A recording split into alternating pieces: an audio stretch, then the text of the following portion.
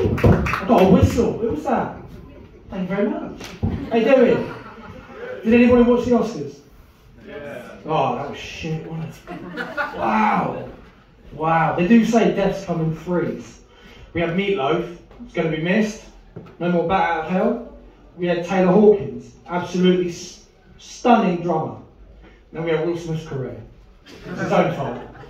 And uh, but it made me think when he was saying, "Keep my wife's mouth, no, name, not mouth, name out of your fucking mouth." I wonder if he said that to the guy bumping his missus. But then I suppose it wasn't his a name that was in his mouth, was it? Yeah.